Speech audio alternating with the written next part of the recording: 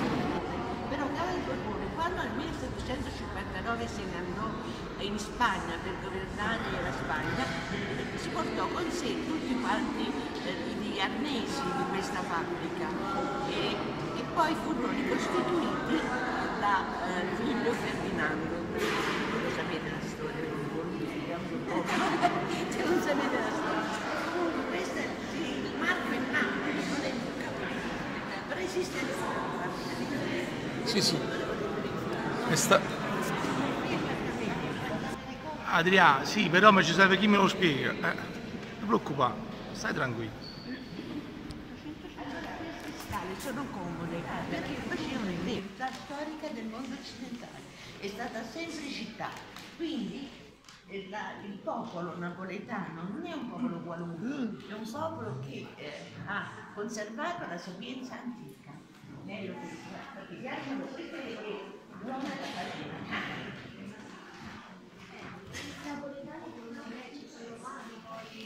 No, i napoletani erano greci.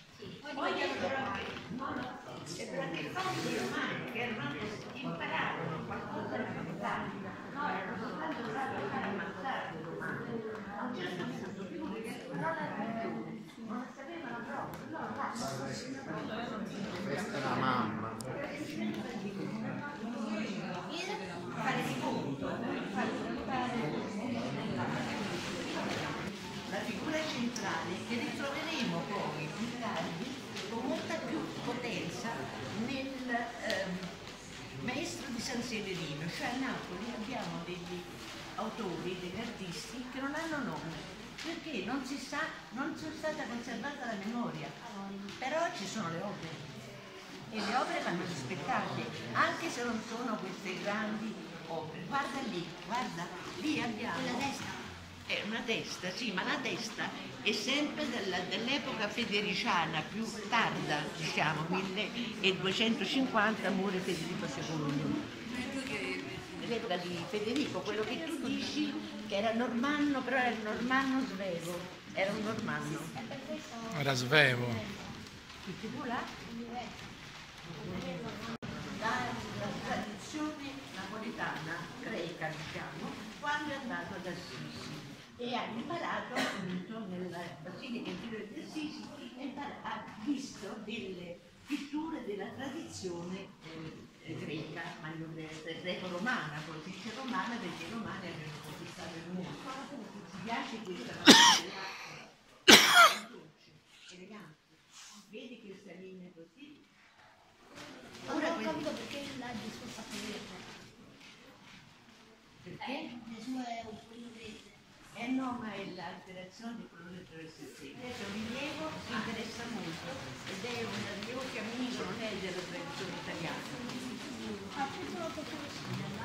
Eh, questa è la deposizione della croce, questa è la sepoltura di Cristo. Questa è la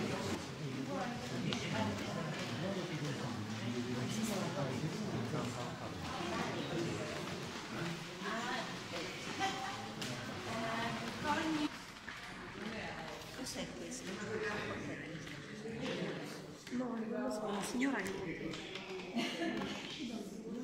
Credo che sia lei. Sì, c'è scritto legno. Questo è il premio Zaffarano. Ci sono dei vetri. Dei vetri che saranno San Ludovico da Tolosa. Chi era San Ludovico da Tolosa?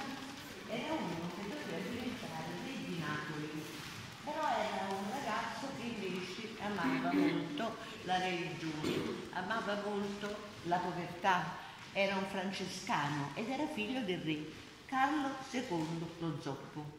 il quale aveva sposato poi Maria d'Ungheria.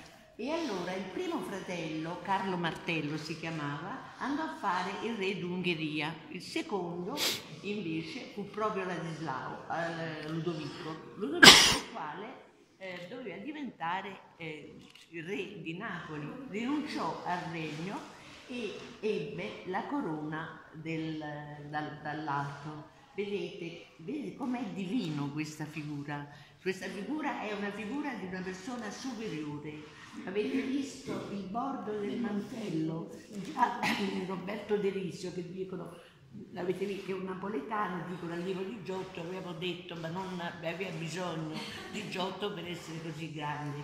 Questo è un senese che non ha bisogno di Giotto per essere così grande ed è elegantissimo ed è una ehm, tavola, una tavola questa molto preziosa. Allora, il re d'Angiò, poi Roberto, quello che vedete là, fu re di Napoli al posto di Ludovico. Il re eh, Roberto ordinò a Simone Martini questa eh, tavola e- per il fratello che era diventato santo. Nel- più tardi successe questa, eh, nel 1318 questo, eh, questa tavola è. Quindi l'anno 21 sarà il centenario di questa tavola ed è eh, anche prezioso tutto. C'era anche un anello prezioso che è stato rubato. La borchia che sta qua pure aveva una preziosità maggiore, poi le pietre eh, sono state rubate. Guardate la mano con la corona che sta per posare sul capo di Roberto. Però vedete, non lo guarda perché lui fa la volontà di Dio. Lui è una figura, si dice, ieratica, fa parte del regno dei cieli. Infatti sta con gli angeli, la sua testa sta con gli angeli. Però ci sta qualcosa della regalità terrena nella, eh, in questi gigli dorati che circondano e che sono i gigli angioini.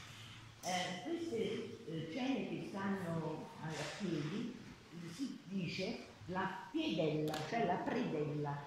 E, ehm, e, eh,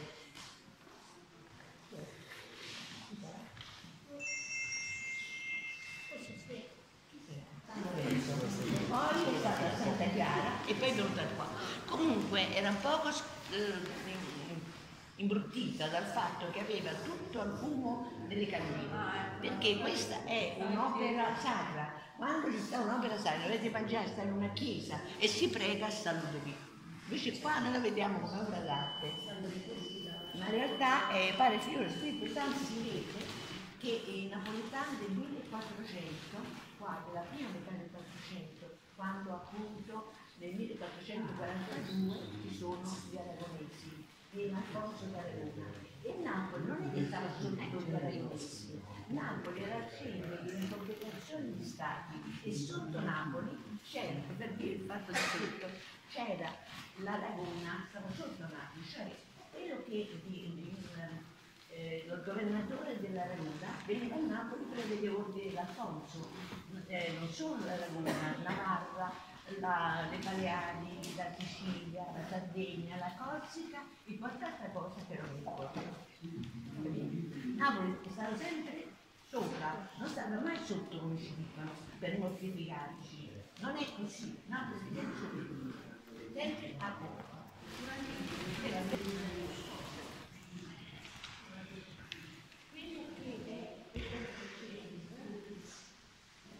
Non possiamo vedere tutto, vediamo questi 1, 2, 3, 4.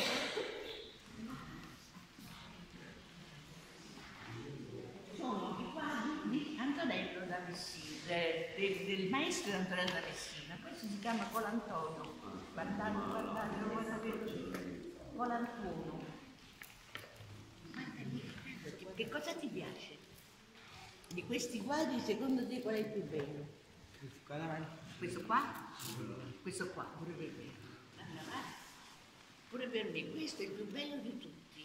Perché? Perché è l'interno è San Girolamo che toglie la eh, spina dal, eh, eh, dalla zampa del leone. Vedi? Allora lo studio di San Girolamo. San Girolamo normalmente è rappresentato come un grande studioso. Questo fa così, toglie la spina. E si vede qual è il centro della composizione di questo quadro? La mano del leone, la zampa del leone. La zampa del leone, bravissimo. Da cui si diramano tutte quante le altre linee. E poi, e torno torno, ci sta la eh, definizione della stanza. La stanza, per quanto dovrebbe essere eh, quadrata, diciamo, cubica, in realtà ha una sorta di avvolgimento della figura del santo Gellone, eh, sottolineata anche dalla forma della sedia dove sta San Girolamo. E poi tutte quante, guardate, guardate le varie, vari particolari, la lettera qua, l'appunto, e la scrittura, e il cappello qua, ma il- la Bibbia forse il sacro, il libro sacro è aperto, e poi qua un topo, lo sai, sta un topo? Sta un topo, sta un topo. E vedi questa sedia che dicevo che aveva la spalliera curva? Perché Napoli è tutta curva, la vogliono raddrizzare, ma la, la, la linea diritta, dice, ma rovai, rovai, insomma. Questo è il progressivo. Perché hanno fatto, perché ce l'hanno messo il topo? Perché ci hanno messo? Non è che ce l'hanno messo, perché è reale, perché è vero. Allora ci stavano i topi, pure i topi devono campare. Questo è il. Guarda là, vedi, vedi tanto scombinato su San Girolamo, però aveva tante cose da fare, da studiare. Lo sai che è quello che ha tradotto la Bibbia dal greco in latino e quindi, oh, allora la Bibbia che poi si legge in latino è stata un'impresa, mi sembra, no? È tutta, tutta quanta, tutta. Vedi qua sotto, vedi qua, cadura un foglietto e manco la presa. Arriva la donna di servizio. Tutta con l'acqua dentro. Dicono che sia un'invenzione fiamminga, perché all'epoca c'erano i fiamminghi. Sentite, andate al museo archeologico, ne vedete 4, 5, 6, se non sbaglio Di bottiglia. di bottiglie con l'acqua dentro, cioè le cose le sapevamo fare noi prima di tutti quanti gli altri. La museo archeologico dicono pittura romana, pittura greca, i romani sapevano pittare. Questo è poco come si Libra, quella fatta la bocciatura. Sì, bicchiere. Ma noi eravamo famosi per le bottiglie. Questa è una deposizione dalla croce, pure molto bella, sempre di colantone. Eh, più bella forse. Eh, a lei piace più, eh, ho detto che è più bella quella, invece vedi, No, è per il colore. Per il colore no, anche. questo c'ha dei colori. Un po' spento, però un po'. È stata pure eh, eh, diciamo, ben restaurata perché i colori non sono stati alterati. Questo è, si chiama, non lo so se possiamo passare, guardate ancora, visto il teschio e è bellissimo. Ditemi. No, anzi, le posizioni, che così sta là. Ah, eh.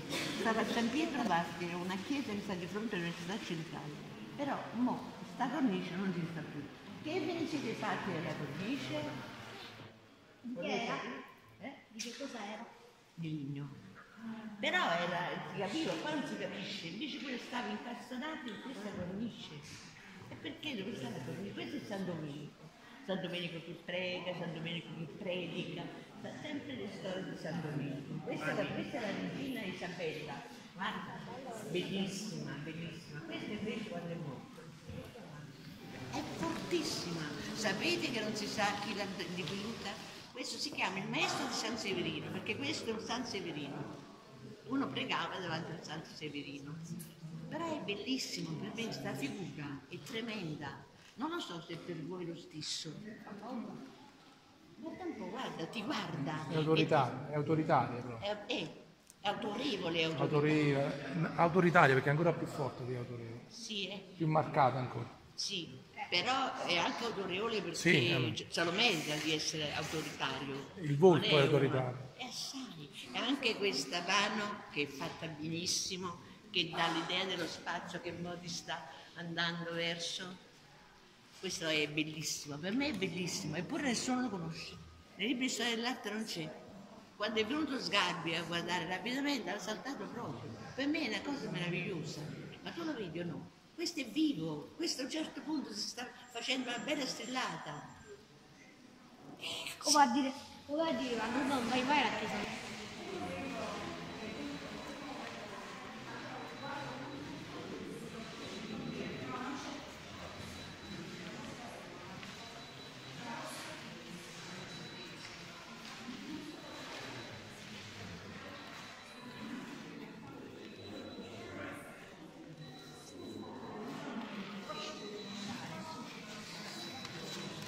Ho fatto 3, 4, 5 volte. A Siena si trovano. Che cos'era sa- la strage dei docenti? Tu non lo sai. È arrivata al basso medioevo. Tu, è ancora più antica la strage dei docenti. Al tempo dell'anno zero, quando è nato Gesù. È nato... che fece uccidere tutti i primogeniti. Ecco.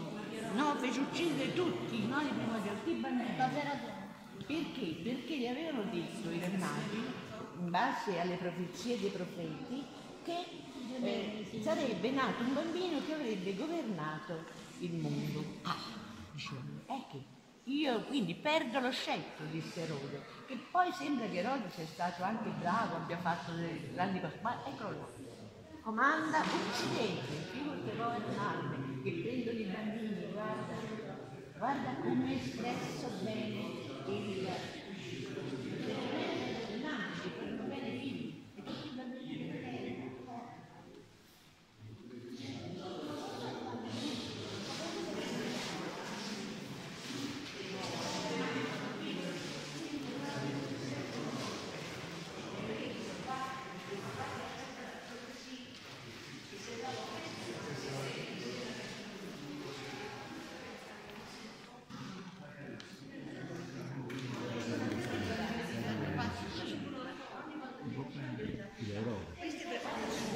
Questa qua, no, la deposizione della croce, per esempio questa, che mi sembra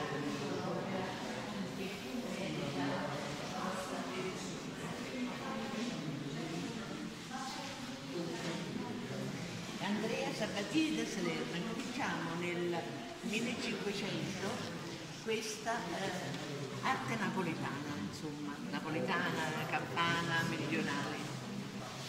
È bellissimo mi sembra, ma tutti quanti sono belli, ma non possiamo fermarci su tutti, ci sono gli occhi che si confondono. È sempre qui, da noi, nasce l'arte e viene preservato. Beh, togli di passaggio. Quindi c'è una continuità nella sapienza scientifica.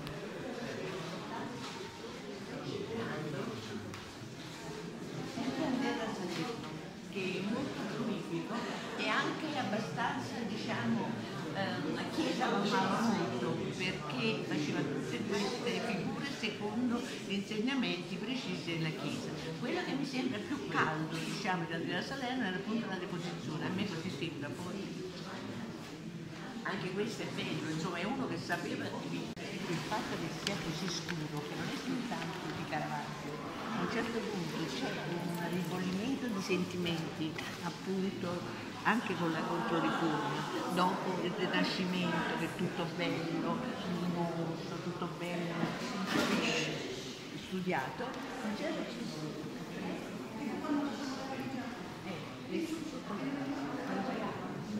Diceva dopo che, che è tutto studiato, Adriana dice che è tutto, tutto che è tutto colorato. un attimo, tutto- mi- Dopo appunto il rinascimento invece c'è una ribellione a questo concetto della vita ben equilibrata, tutto ben a posto. E eh, questa ribellione nasce il fatto dell'oscurità dell'ambiente eh, in cui poi le figure, l'umanità quella che conta. E allora c'è una difficoltà straordinaria nella concezione dello spazio. Meditazione. Mamma mia, guarda. E cola pure il sangue, schifo. Questo l'hanno messo da solo, ma là in fondo che cos'è nel fondo? Perché mi piace questo? Questo è egiziano, dove egiziano ma è egiziano. È attribuito con ragione piccolo a egiziano. l'annunciazione. Questa invece è un'altra annunciazione che io trovo molto interessante perché è di un napoletano Francesco Curia. È interessante perché è originale, è, è spuria, è streuza, è strana anche nella disposizione del, delle vari elementi dello spazio ed è un contemporaneo di Caravaggio, che Caravaggio non se lo fila proprio. Non è che sia appunto... un- Ah, il signore ah, è bello questo, è molto bello. E, mentre Caravaggio lo possiamo trovare là. E ci fermiamo. Questo è molto bello. Adriano, mi dici che è molto bello questo. A me piace moltissimo. Ah, infatti pure a lei piace molto. È bellissimo. Salute. Grazie. Guarda, per esempio il tavolo come è messo rispetto alla Madonna, è tutto movimentato, tutto si muove lo spazio intorno. E questo poi è un esempio della prospettiva napoletana di cui parlavamo. Cioè non è uno spazio statico, perché in effetti noi lo spazio ce ne accorgiamo che esiste. So- noi se non sapessimo che possiamo muoverci fino a qua, noi non sapremmo che esiste lo spazio. Lo spazio esiste soltanto quando noi ci muoviamo. Perché ci muoviamo? Lo spazio è movimento, lo spazio reale, lo spazio visibile. Quindi per il movimento, prima sto qua, poi sta là, c'è il tempo, spazio-tempo. La quarta dimensione, il tempo, fa parte dello spazio reale. Lo spazio a Cascetella, lo spazio prospettico toscano, è uno spazio astratto, poi è stato dimenticato, ci hanno insegnato che lo spazio reale è vista dai con Beccino. Ma quello che mi diverte molto è questo quadro, perché è molto napoletano, ma perché? Perché mi sembra che questa donna, no, che fa così, e guarda, ma aprite sto poverone, proprio guarda, talmente napoletano, è vero, ci ci sono persone. Questo è, e poi una cosa bellissima, secondo te che cosa gli può piacere a me? Che è molto colorato. No, Questo. Un'altra cosa bellissima che sta qua, mi piace moltissimo, del napoletano. Bravissimo.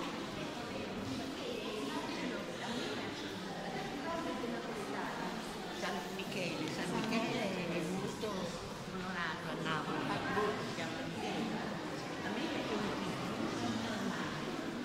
E fa parte di quegli angeli che poi sono gli angeli del presepio, gli angeli di- di- di- della chiesa di San Gaetano, di Baccaro, di tutti quanti. Gli angeli sono un'espressione che sta nel mondo, perché l'angelo custode sta qua, ognuno tiene un angelo. Ma guarda-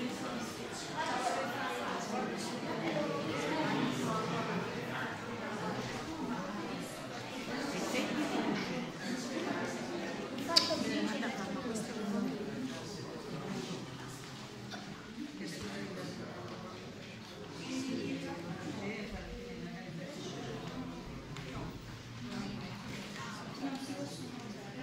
Altri due quadri di questi li troviamo nella chiesa di San Luigi dei Francesi.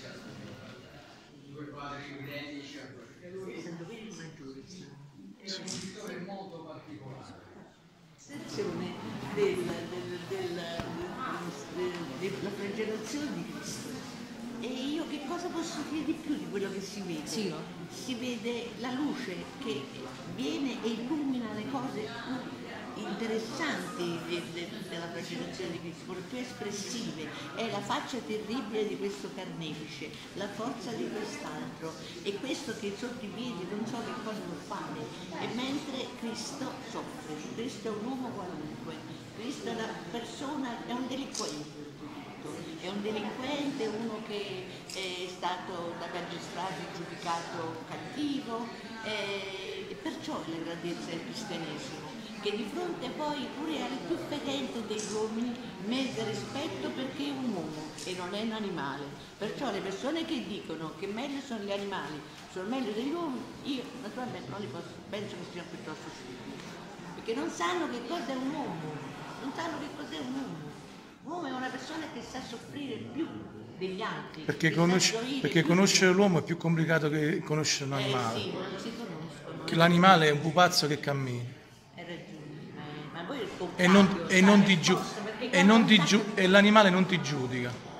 Eh, non è così la tua coscienza.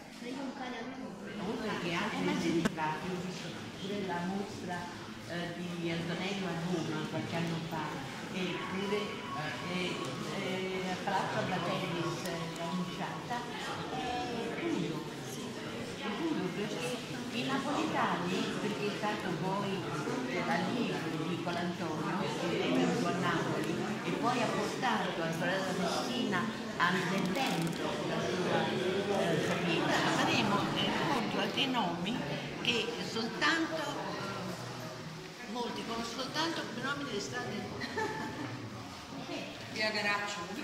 no, che caccio non c'è E sono Nel Vomero ho detto, perché la piazza degli artisti sta eh, Solimena, e sì. Comunque eh, questo è, è Battistello Caracciolo. eh, Caracciolo perché il detto Battistello. Giovanni Battista Caracciolo, ma vedi, scusa, non è bellissimo anche nella immaginazione. E abbiamo tanti che sono detti caravaggisti, ma anche se non ci fosse stato Caravaggio sarebbero stati ugualmente grandi. Per esempio ci fermiamo su questo, ma possiamo fermarci su quello che eh, vogliamo per vedi il buio, questa la, la realtà, quello che vi piace. Riempitevi gli occhi di figure. Quella per esempio è eh, una persona che anche a una strada forse, nel Sellitto, che è la Santa Cecilia che suona il piano, questo è anche qualcosa di meraviglioso. È stata qui eh, eh, mostrata quando si è fatto eh, la Vermeer, il liuto, eccetera, insomma, si, si è visto la, la, eh, il suono, diciamo, delle figure. Questa è la Santa Cecilia, bellissima.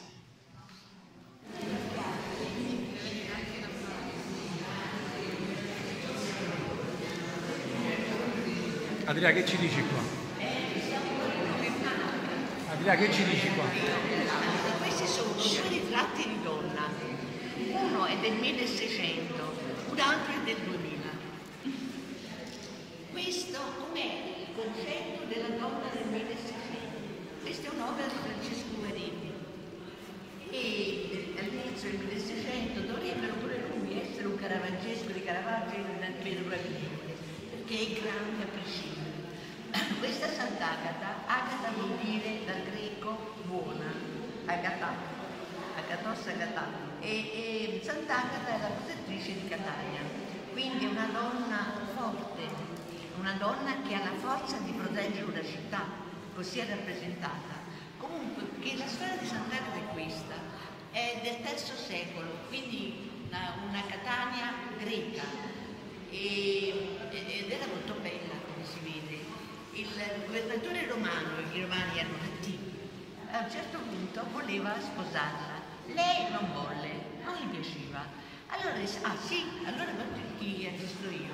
Tu sei cristiana e siccome allora leggeva la regola che i cristiani devono essere ammazzati, la, la volle ammazzare, però prima di ammazzarla le, fe- la fece dei supplizi. Tra l'altro le tolse i togliere. Una cosa terribile. Così vedete che lei si copre e eh, si vedono le macchie di sangue sul bianco della eh, camicia. Guardate la bellezza di questi bianchi, questa eh, varietà del bianco nelle pieghe. Eh, I napoletani sono bravissimi a fare i bianchi, secondo me è una cosa straordinaria. E vedete anche il gesto pudico che si copre di questa donna che guarda non doma, non è domata, è orgogliosa, eh, è orgogliosa e guarda con quest'occhio così, è fantastica. Questa è la concezione della donna che aveva un uomo, un pittore del 1600. Le donne erano, la, la- la dipingeva con rispetto, con, anche perché è una santa, ma non solo, ma anche adorando questa bellezza della donna. La donna, in quanto donna, era considerata qualcosa di prezioso, di positivo, di vivo, di bello. Ora vediamo la donna del 2000. La donna del 2000 è una qualcosa che non vale niente. Qui possiamo capire, Adriana, che non sei femminista. Eh? Sei, sei una donna No, tradizionale. falla finire, diciamo. Non vale niente, la donna è semplicemente fatta di, poteva pure farla di qualche eh, materiale che non fosse questa tela grezza proprio, di prima qualità, ma eh, è fatta, è fatta di questa tela grezza, pure delle pezze insomma, ed è, ed è molto esaltato il carattere proprio della donna femmina, cioè i seni, il ventre che è gravido di prole, si può immaginare. È una donna senza gamba, senza braccia, senza testa e ha un grande coltello sopra. Che cos'è questo coltello? Io non, non ho capito tutta prima. Ho domandato, ho domandato, qualcuno me l'ha detto, un uomo me l'ha detto. Perché me l'ha detto un uomo? Che cos'è quel, quel coltello? Non viene più considerata No. Eh, viene, viene, viene, Allora, ma secondo te quel coltello che cos'è? No, È, è la minaccia. No, realmente è una figura ingrandita di un oggetto reale. Che è quel, qual è questo, questo, che cos'è? È un, è un, è un Ah, boh, rasoio, ma è un rasoio che va bene, mi hanno risposto. In effetti la rappresentazione del maschio che uccide la donna, ma conoscendo tutta la storia di Louise Bourgeois, che è l'autrice, e, e questa autrice è morta pochi anni fa, le- ed è una femminista, lei vuole uccidere la donna, la femmina che è lei. Questo lo dice da sempre, l'ha detto, perché ho visto il film, ho visto le opere, ha fatto una grande mostra qualche anno fa proprio a Capodimonte e mm, ci sono anche altre opere al, insomma, al, lo studio Trisorio e lei stessa uccide la femminilità che è lei, perché bisogna essere uguale al maschio. Eh, questa era- quindi questa è la donna come era, come era considerata nel 600 e questa è come si è considerata oggi. Eh, come è diventata nel 2000. Questo è il 2000, eh? 2000. E non so se possiamo vedere altre opere. Ma ecco qua anche questa Eccola. L'autrice. terribile. Che cosa può diventare la donna bella? Terribile. E questo però, siccome è reale, è perché realmente eh, merito lo arrende la delle cose con quella bravura che la bravura dei Satteschi. È figlia di Orazio Gentileschi. Ed è chi era Orazio Gentileschi? Orazio Gentileschi era un pittore, era pure molto bravo e lavorava a Roma e aveva una bottega. In questa bottega c'era pure un giovanotto. Artemisia era una bella ragazza. Questo giovanotto, eh, di cui non mi ricordo il nome, non è importante, eh, Gertrude approfittò di questa ragazza e questa naturalmente ebbe un grande eh, shock per questa violenza che aveva subito e gli fece pure causa, il padre fece causa a questo delinquente e quindi è famosa per questo, per questo eh, processo, fu il primo processo intentato contro un uomo che ha approfittato di una donna. Ci sta qualcuno, quello che cura attualmente la eh, sezione napoletana eh, della mostra su Artemisia a Palazzo Braschi a Roma, non so se sia terminata questa mostra. Ancora? E figura ha scritto che però questo episodio non ha influito per niente su Artemisia Gentileschi e invece ha influito e come.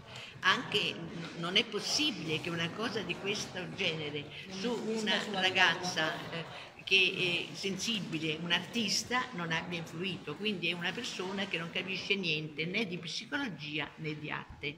Né di donne. Ah, no.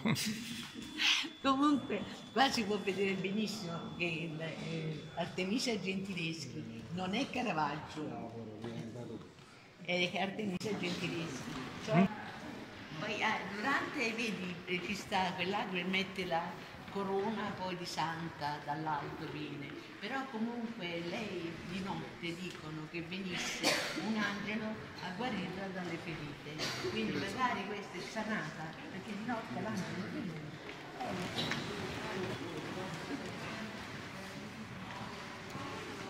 Questo è ribelle, si capisce? Beh, insomma potrebbe essere anche un altro di questi napoletani, perché sono eh, la stessa temperie l'aria del tempo.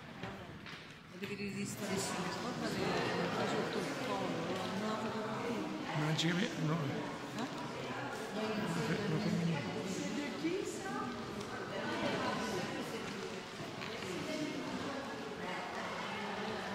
Adriana. Adriana. Adriana. Adriana. Adriana. Questo. Dobbiamo fermarci qua. Fermatevi, guardate, io dico guardate, la- le parole non sono eh, all'altezza della vista. Questo però, diciamo la verità, questo Bacco è anche generoso perché offre pure il vino ad un'altra e questo sarà... Eh, ma è ubriaco però. Eh, certo che è ubriaco. Quindi quando un ubriaco offre. Ah sì? Sembra. Ah sì, eh, non sapevo questo fatto. Però scusa, questo, questo personaggio...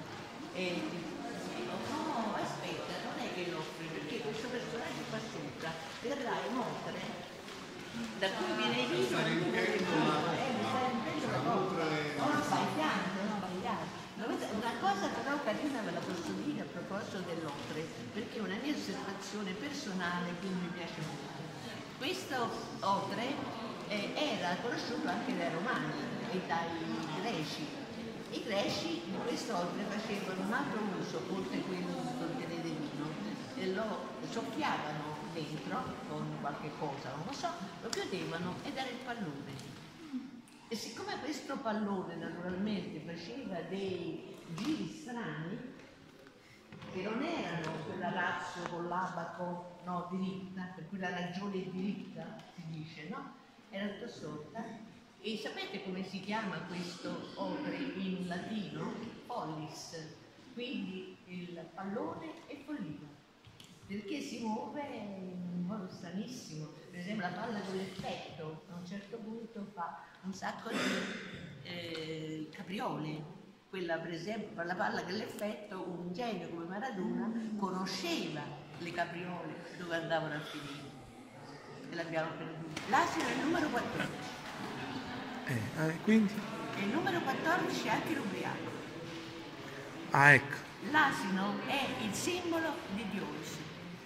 Tant'è vero che ne- al Museo Archeologico sempre ci sta un mosaico, uno, ma pure qualche altro esempio, in cui c'è un asino che viene tirato da alcuni che hanno in mano una sorta di scopettino, che è il tirso.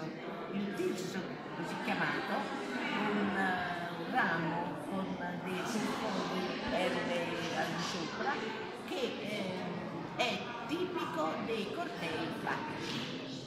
Quindi l'asino e Bacco è la stessa cosa. Grazie di avermi detto che quello è un asino, perché conferma questa idea che, che poi si collega anche al fatto che Dioniso è anche assimilato a Napoli, a Orione. È una storia interessante perché poi Dioniso Orione, che, sta il- che è il protettore del sedile di Porto, che era la fratria dei Patridi, è stato poi assimilato a Gesù Cristo, in, a Gesù, attraverso una storia un po' complicata però interessantissima che fa vedere come l'ombrifero prefaccio del vero che si è detto, no? Le- cioè l'antica- le antiche divinità pagane sono poi eh, state assimilate nel cristianesimo e sono considerate queste divinità pagane un ombrifero prefaccio. Ombrifero Ombrifero. ombrifero, cioè ombrifero, insomma, oscuro, prefazione, cioè pre- prologo della verità, preludio del, frutto del. Così è. Comunque è contaminato. Comunque eh, Dioniso è- venne, San Pietro eh, al sedile di Porto, cioè nel porto di Napoli. Là ci stanno le prove, San Pietro ad Aram, Aram per esempio, e anche nella casa di Santa Spreno, che sta sotto una chiesetta molto poco conosciuta, non è ne ha citata neanche le, guide. È Palazzo della Borsa, è bellissima questa storia, perché poi a via Mezzocannone c'è anche una scultura, una che rappresenta Ola Pesce, però questa scultura rappresentava all'epoca Orione, che era il santo protettore, diciamo, della fratria dei Pantridi. Questo un altro più classico, però è bellissimo. Guarda questo, questo senso, è bellissimo. Perché uno più di Così bello.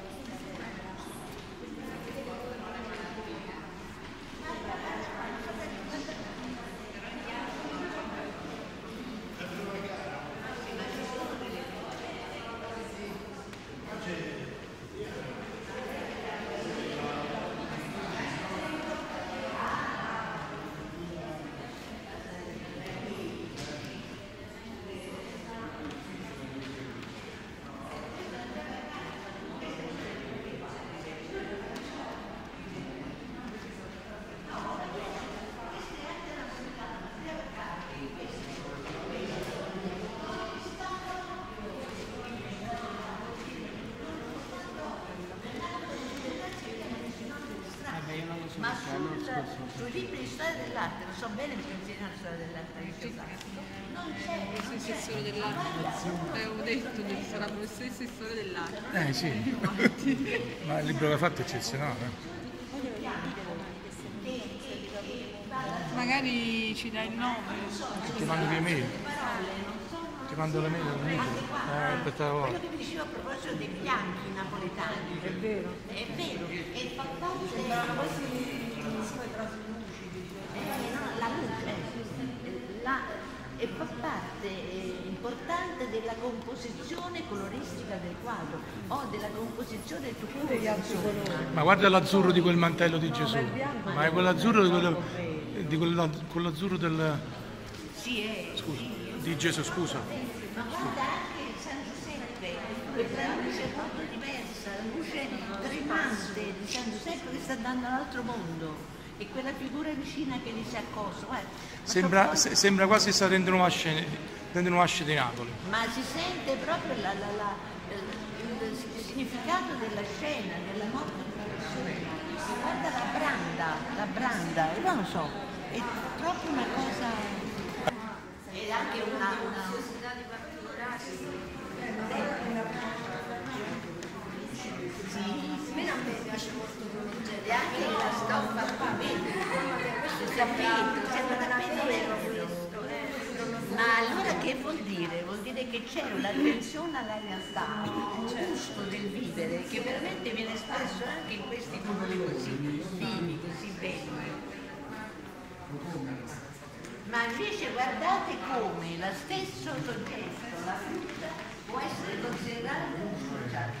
Questo è un settentrionale che si mette a fare la frutta come deve essere stata, come deve andare, tutta ben ordinata. Pigliare quelli sotto, poi quelli sopra, poi quelli sopra ancora, facendo la, la forma della piramide.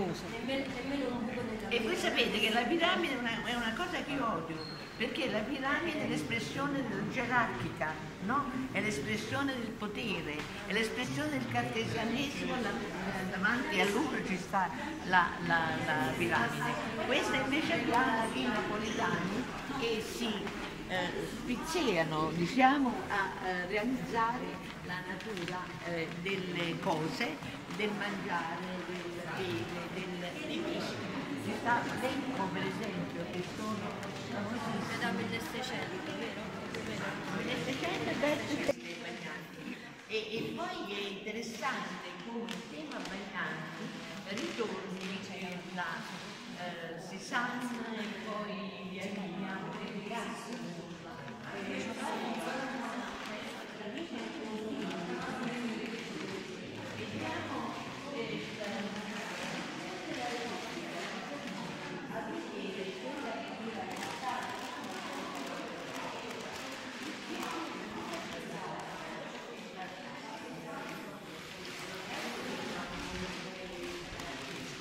Una cosa terribile, lo chiamano Caravaggesco Luca Giordano. Guarda un po' qua. Per me Luca Giordano, lo stile particolare di Luca Giordano, con l'occhio della luce, è che, devi guardare, Sì, sì, non ti preoccupare. è, il- è- è questo che sembra che la luce venga da dentro al cosmo. E allora dà l'impressione È come la cufene. che proprio di, eh, della, della profonda cultura napoletana è vero quello che tu dici. L'attenzione dei napoletani alla realtà è la fine della realtà, quella che poi, quando è così, eh, andiamo a guardare eh, Picasso, che non c'è più questa fede nella realtà. Questa realtà che è presa da più punti di vista, questa, perché ormai la, la- cassetta in cui eh, chiudono lo spazio non piace più, no? non è convincente ed ecco che abbiamo questi segni in cui altre e anche nelle, nelle chiese, nelle cuoricine, in cui lo spazio si apre liberamente e quindi si può fare quello che può creare uno spazio corpi. eh, coreografia sarà curata appunto da Picasso. Picasso si innamora di Pulcinella, si innamora Stravinsky di Pulcinella e anche di Aguilef, cioè quello del balletti russi, l'impresario dei balletti russi, eh, si innamora di Pulcinella, tanto che impone a eh, Stravinsky di fare una, una musica sulle musiche di Pergolesi. La prima eh, Stravinsky dice ma che io, una cosa del Settecento, io sono moderno, però si innamora di Pergolesi, lo capisce, capisce che Pergolesi parla pure del Novecento, parla pure del 2000, Anticipa. Pergolesi è grande, perché è piccolo ed è un giovanotto, muore a 26 anni, credo, eh. Comunque molto ecco questo tipo di eh, che, che, che l'ha comprati anche eh, Picasso. Si innamora di questo si innamora anche dei pupi e del- perché i pupi detti siciliani hanno origine napoletana. Eh, questi sono guarda i, i burattini perché sono presi dall'alto con i fili mentre invece le guarattelle come le marionette vengono prese con le mani da sotto. Quindi la da burattino. è che il burattino è la sanadora e la sanadora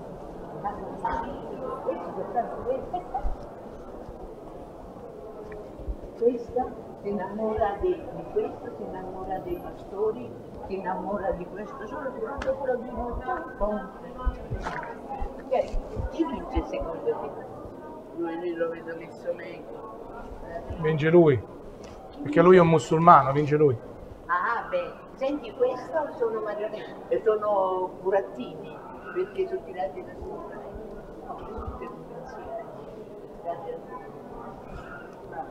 Quindi la scimitata, hai ragione tu, questa è la daga, la, do- eh, la daga, e questa è la scimitata, questa è insomma, è- però questo tiene una borsa, questo è il No, mi- mezzo, e questo, e lo fa eh, le, le,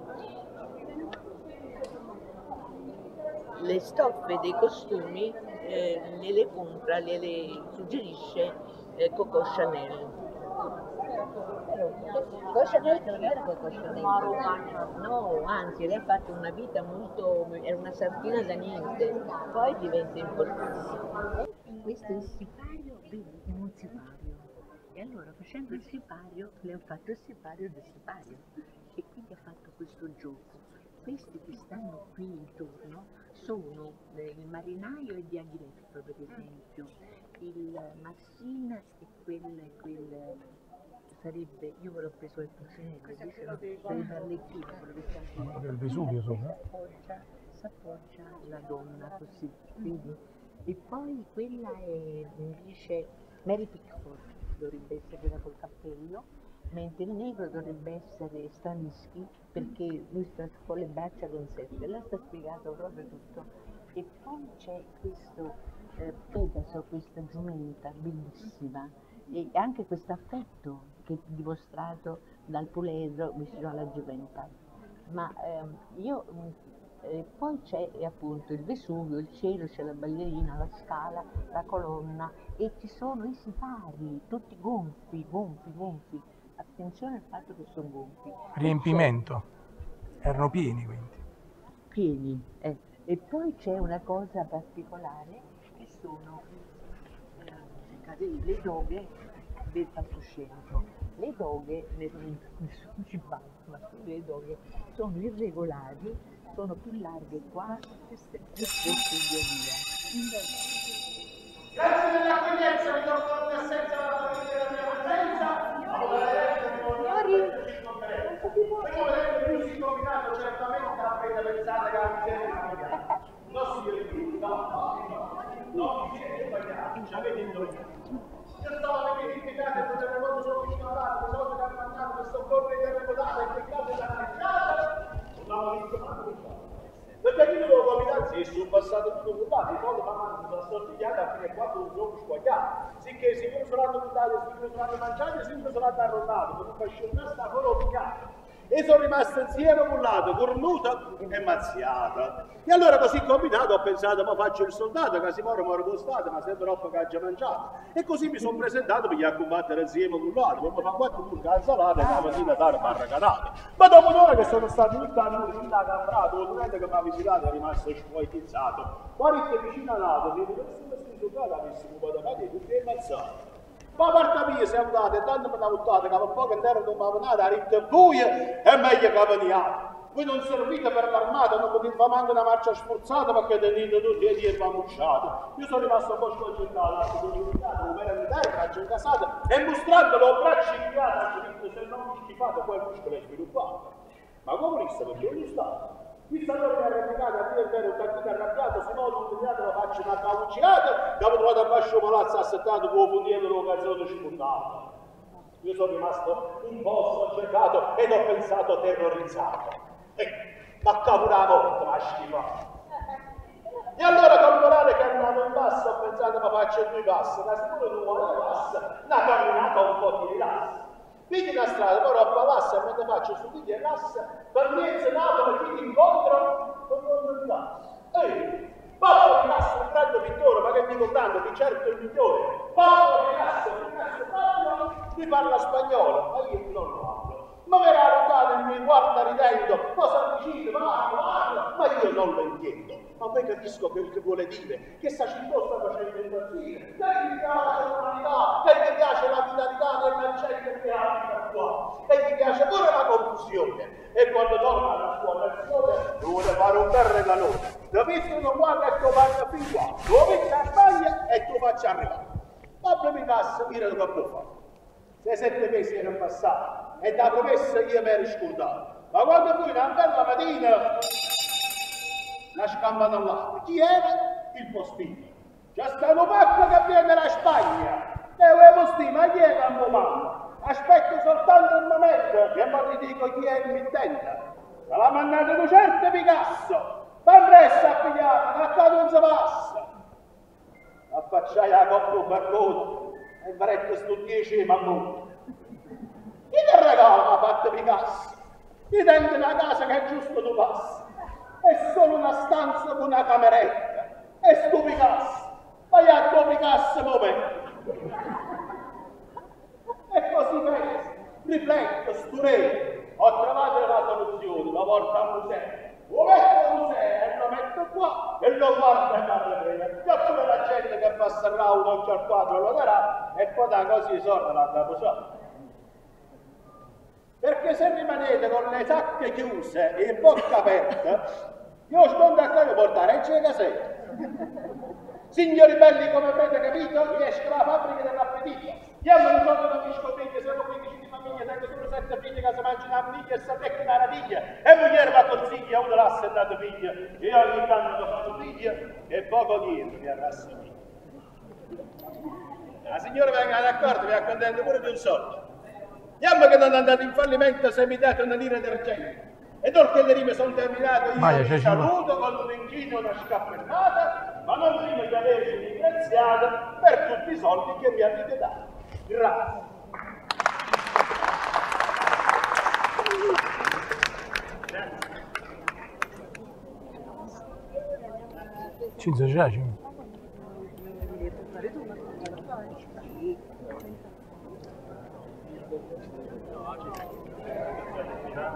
50 ce l'hai 50 centesimi.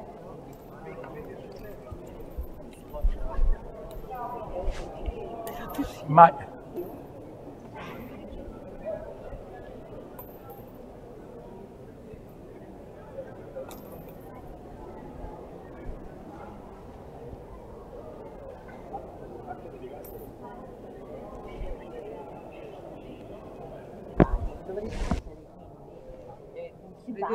eh, da lontano e da- dagli e io mi ero messa veramente dietro perché stavo si fa e qua le tende vengono delle signore si mettono a strillare lei che ci fa giù al galera una figura in niente tant'è vero che mi hanno preso le tende perché ho scritto questo fatto no? poi sono andata a consolare perché eh, la conferenza stampa allora ho scritto ma ma io penso che venga la- la- la no, la salvezza- comunque però da, da questo punto di vista tu vedi una cosa eh, Aspetta un attimo. Però vedi proprio che si- tutto si accoppia tutto si rende coerente e tu vedi uno spazio curvo come un uovo vedi un po' con un po' di fantasia. Cioè non regolari però secondo la prospettiva, se le guardi da là sembrano sbagliate. ma guarda un po' vedi lo stesso con questo gioco che ha fatto lui questa linea che è diritta diventa curva così come tutto anche questo diventa curva Perché poi Questa la è una magia, ma che cazzo perché è un genio? Perché è un genio? Perché fa le, le magie. Quindi c'è il magia. c'è, c'è proprio il simbolo dell'uovo, il nuovo simbolo di Napoli, Castel dell'Uovo, la rotondità, tutto si chiude in una sfera, in un cerchio. Questo è un uovo, È un uovo, sì, è una, un uovo che da cui nasce poi la nuova la vita. Quell'uovo spezzato che adesso è stato rotto a Castel dell'Uovo, no? È stato rotto di E tempo fa, no? tempi di Virgilio, Eh, quello è stato l'incantesimo fatto.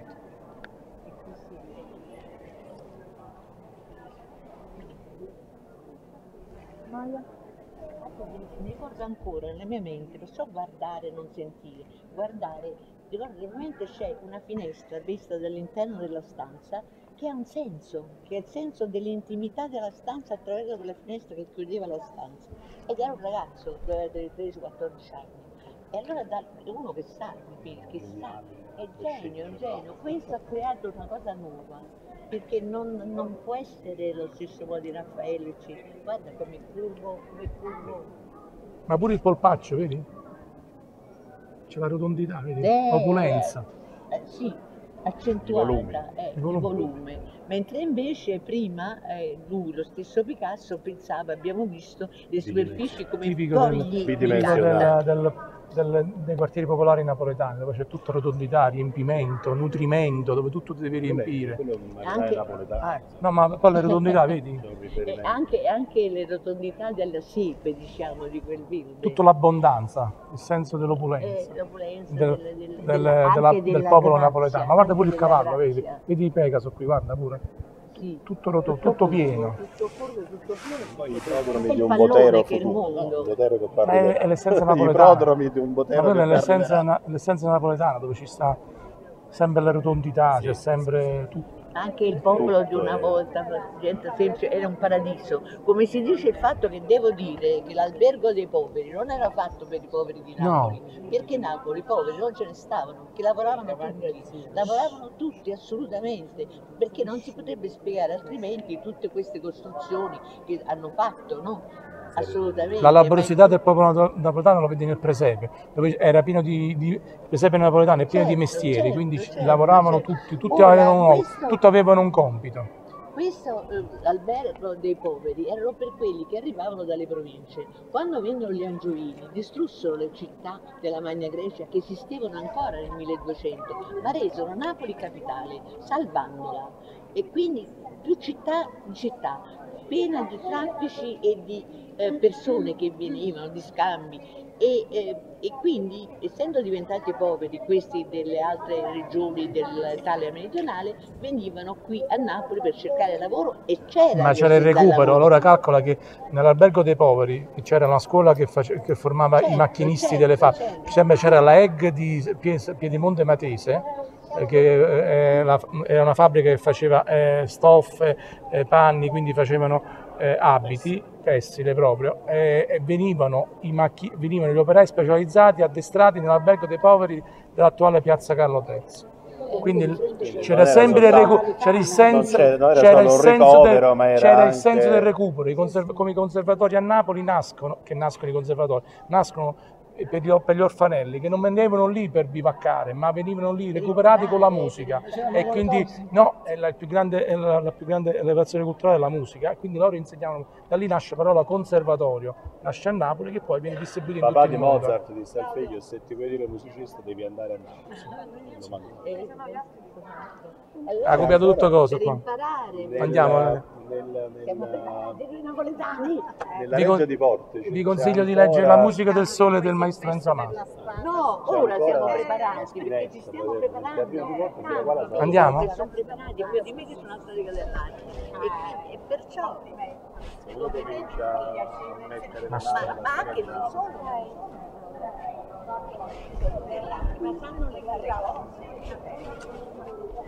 Adriana, da Adriana. Mi ricordo, mi ricordo ancora come se fosse ieri.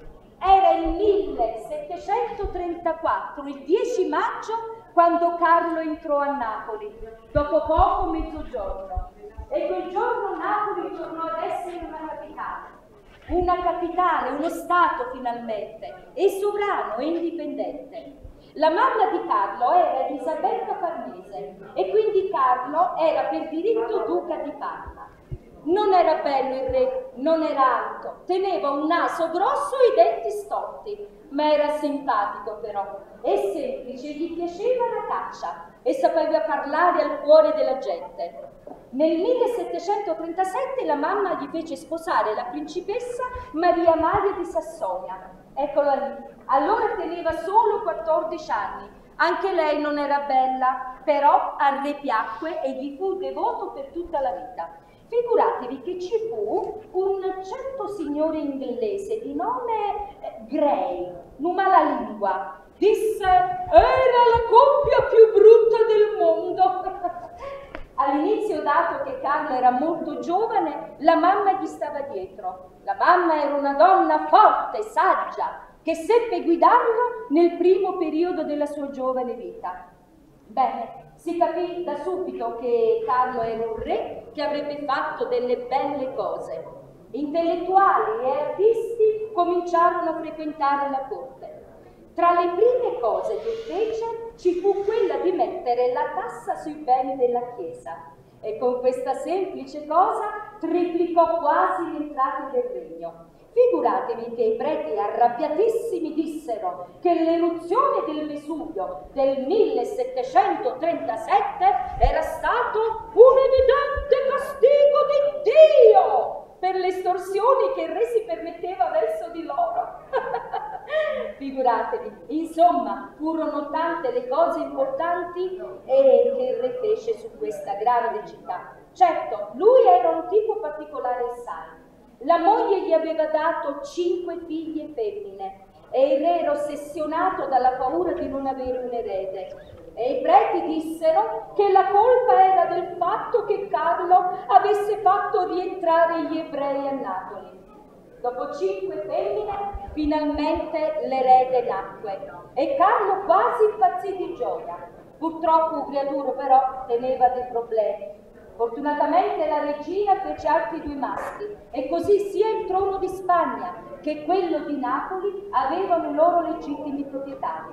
Dopo aver dato la dinastia ai due eredi, un giorno la regina alzai a capo e dice Uè, io qua voglio comandare pure io. Si mise al fianco del marito e con lui prese alcune decisioni. A volte lei non era d'accordo. Eh sì, c'erano scene e scenette tra lei e il re che grazie al carattere e alla pazienza di Carlo non divenne qualcosa di più serio.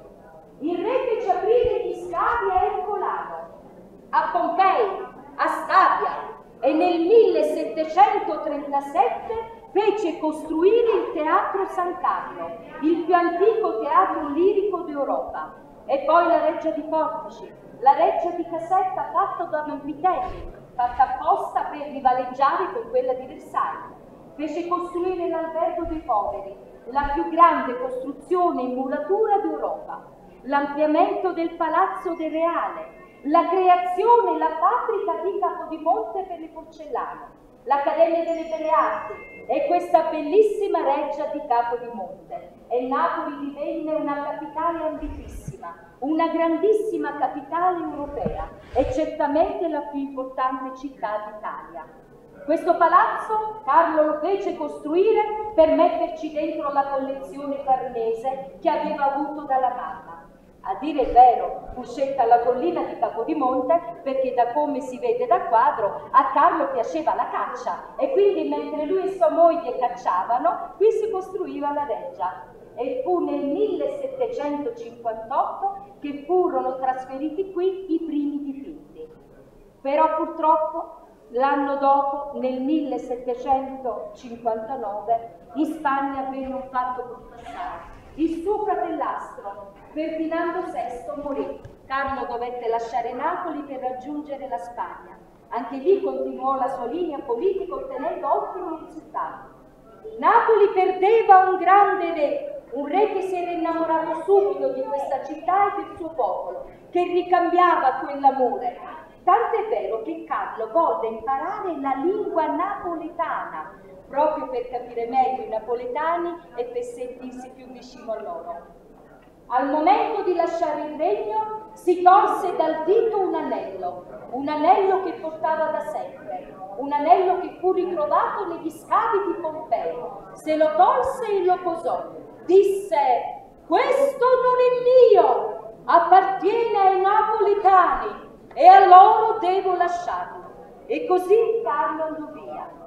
E come Carlo posò l'anello, voi lasciate qualcosa dentro l'anello. Grazie.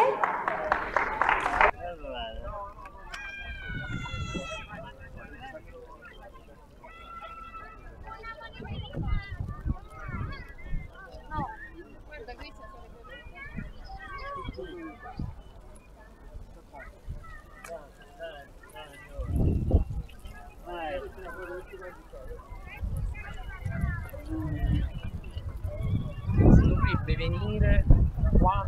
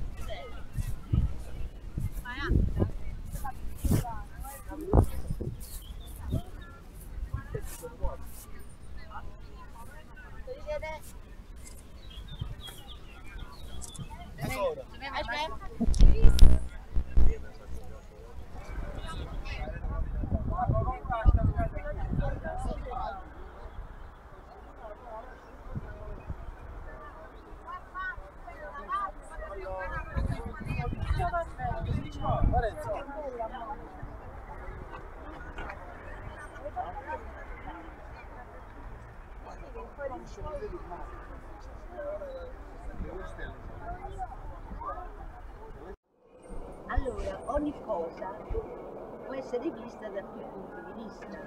I napoletani avevano fede in quello che vedevano, avevano fede nella corporeità che sta dentro la superficie, anche se guardavano da più punti di vista. In tutto, nella Picasso, guarda, Ascoltando. Scusa, no. Mm. Noi dicevamo, ripeto quello che ho detto prima, eh, se lo spazio si muove, allora ogni corpo viene guardato da più punti di vista, sei d'accordo? Ora, eh, avevano fede però nella corporeità che sta dentro la superficie. Cioè io so che tu esisti, che la vita esiste, che quello che guardo io lo guardano anche gli altri, perché poi la cosa sta, sta in questo, lo cito anche in un articolo, cioè io so che questo esiste perché anche tu lo, guardi, lo vedi, lei esiste perché non sono io che lo vedo, che sarebbe un frutto- alfa privativo allucinazione, alfa privativo allucinazione, no? senza logo, senza logo. Ma anche altri la vedono, perché i napoletani erano una realtà molto coesa, perché erano simili per razza, per eh, religione, per storia antica. Quindi avevano fede nella natura di questi più punti di vista che non sono soltanto di uno che guarda in giro, ma sono tanti che guardano la stessa cosa, tanti sono i punti E di si può dire che non, c'è, che non esiste una verità assoluta. esiste la verità fatta dagli uomini e gli ispirati a Dio, insomma, la Eh. è Dio stesso. E Picasso qui invece che fa? Picasso no, Picasso... Che succede quando viene a. Napoli, Picasso? Io ho visto, sì, nel- viene nell'anno 1917 a Napoli. Quanto tempo sta? Non molto. Lui non voleva nemmeno venirci. Solo, solo per un breve periodo. Per un breve periodo viene lui buttato. Però queste bastano per cambiare la natura Certo, della sua arte. Ora, io ho visto di Picasso a Salerno anni E in fa, che modo cambia, scusa? Perché cambia quando viene a Napoli? perché assorbe la, eh, il modo di guardare la vita dei napoletani. Però non posso spiegare come cambia se non partiamo da quello che era. Ti pare? E che cos'era?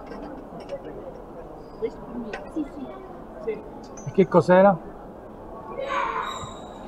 Era prima, stiamo dicendo, per capire Picasso bisogna vedere che ha un'evoluzione. Parte No, come grandi pittori da ragazzino. I primi eh, esperimenti, le prime pitture di Picasso sono figurative, ma sono bellissime. Poi si stilizza in un certo senso quando si innamora del circo e fa un periodo blé, questi pagliacci li dipinge eh, però l'atmosfera del colore, adesso il colore è scura, perché era molto triste, un suo amico si era suicidato per amore e quindi un lungo periodo lui, scri- lui dipinge eh, scuro, diciamo. poi però si innamora, va a Parigi e frequenta questo ambiente parigino che è molto frissonnante, frissonnante, si dice no? molto Frizzante. frizzante. E comunque si innamora di una modella, Fernanda, che era molto bella, era già sposata, però si bisticciano tra di loro, eccetera. E fa anche la conoscenza, questo non è scritto generalmente nei libri, non è evidenziato. Insieme a Fernanda eh, eh, in un paese eh, in Spagna dove esisteva una eh, scultura pre-iberica. Ora, eh, tenete presente questa notizia per passare poi a quando con Fernanda questi stessi soggetti, i, i eh, pagliacci, diventano di colore più chiaro, cioè la, la chiarezza del colore comincia il periodo rosa. è, è il periodo rosa. Ora, dopo il periodo rosa, però, succede un fatto. Lui vuole cercare la verità della realtà con la ragione. Non si capisce questo se non si capisce la prospettiva, perché nel- l'ultimo, l'ultimo eh, articolo, quello un po' complesso, un po' pesante, L'hai letto? forse, però è, Te l'ho mandato, è importante perché ti fa capire No, come dopo il neoclassicismo, che la prospettiva toscana, lo spazio scatola viene saltato, i gesti così di David, con il braccio teso, tutte queste cose retoriche, e, sal- poi vedremo un po' di neoclassicismo andando a vedere Picasso, e e, e quindi si ribellano, quindi abbiamo l'impressionismo che non vuole l'intervento della ragione ma la prima impressione, poi abbiamo l'espressionismo Van Gogh, Sono tutte le l'espressione avanguardie, sentimento. dall'inizio poi abbiamo il fauvismo Matisse, insomma abbiamo varie cose. Ognuno con un proprio mezzo, Sì, attimo. lo, Eh, lo contrasta. questo e abbiamo il cubismo. Il cubismo è quello che più distrugge la prospettiva toscana, anzi distrugge lo spazio su cui regge la prospettiva toscana, che è lo spazio scatola, lo spazio a tre dimensioni, altezza, larghezza e profondità.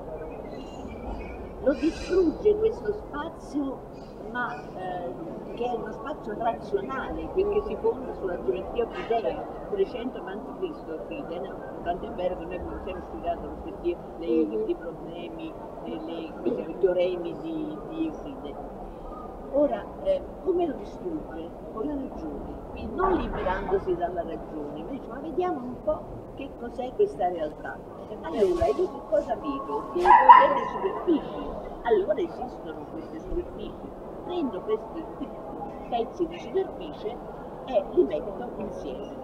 Quindi la prima cosa che fa è la Demoiselle d'Avignon, in cui ci sono le cose viste da diversi punti di vista, un paio di punti di vista diversi. Sembra che siano le Demoiselle d'Avignon delle donne da bordello. Comunque però con l'incontro con Branch, ecco che decidono tutti e due di ragionare meglio e di vedere che la superficie, sono tante superfici, pezzettano queste superfici, li mettono l'une sugli altri e dicono che questa è la realtà. Però rendono irriconoscibile, per conoscere la realtà la rendono irriconoscibile. E mm, eh, non mi dilungo in questo. Quindi va a Napoli, poi viene a Allora, Napoli. questo punto, quando No, praticamente finisce. viene a Napoli, viene a Napoli e si innamora del popolo napoletano, della plebe napoletana. Quella, ieri per esempio ho visto che nella in, messa in latino il popolo non viene chiamato popolo, viene chiamato plebs, la plebe napoletana, non è negativo in origine la parola plebe, viene poi data, perché non sono andata a scuola è una plebe, sono andata abbastanza a scuola, non è vero, perché hanno la sapienza antica napoletana, ma che lasciamo stare. Però di questo appunto si innamora Picasso. Picasso si innamora della sapienza antica dei napoletani, della fede nella realtà e quindi praticamente volge eh, diversamente la sua arte e diventa eh, più classica. Da poi farà per esempio delle donne cornose, qui si capisce che ci sta un po' dietro la superficie. Per ora sul sipario di Parade, Parade è un sipario ecco che vediamo delle figure reali che si rifanno al presepe in un certo senso, perché ci sono quelli intorno a un tavolo come il tavolo sta nel presepe. E nel presepe è una cosa importantissima perché così come immaginano le religioni cristiane e napoletane, l'immagina come Dio interpreta qualsiasi cosa è relativo all'uomo, sacro, e sacro Gesù che era un credente, un, un delinquente, è sacro la persona che mangia e beve intorno a un tavolo. E queste persone che vedrete intorno a un tavolo eh, mangiare, cioè una siesta, stanno così, sono degli amici suoi che sta quali sono questi amici? Eh, Questo sipario è della sipario è della, della eh, di un balletto il corso di Aghiletto faceva quelle balletto che collaborava. e eh, questi eh, quindi ci sta la musica di certo Eric Satie poi ci sta ehm, Massina che è un eh, coreografo ballerino c'è questo di Aguilette e vengono tutti quanti intorno al tavolo. Ci sta anche una ragazza di cui è innamorato un nuovo amore, eh, si chiama Vabbè, questo è quello che andremo a vedere adesso Magari ce lo, ce lo dici quando siamo là vicino. Eh sì. Tanto lo vediamo. Di una cena